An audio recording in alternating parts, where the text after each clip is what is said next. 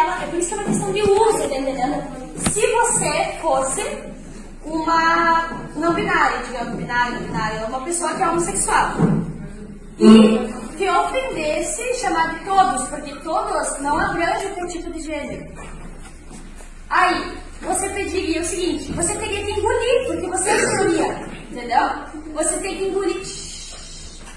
Você tem que engolir o todo. Eu tô tentando entender da outra ótica, porque eu também, eu sou uma pessoa heterossexual. Eu tenho que tentar entender da ótica de uma pessoa que não é heterossexual.